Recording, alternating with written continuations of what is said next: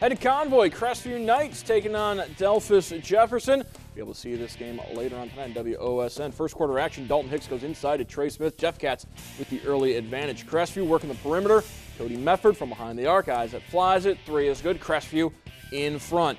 Later on, Jefferson playing some strong defense as Drew Reese comes up with the steal, and he's going to go coast to coast, lays it in to bring the Jeff Cats back within one. Later in the opening quarter, Preston Zaleski hands off to Connor Lotzenheiser. Deep three right on the mark for Lotzenheiser.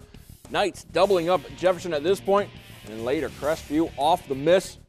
Preston Zaleski comes up with the rebound, goes off glass as Crestview would win a close one, 56-52, your final.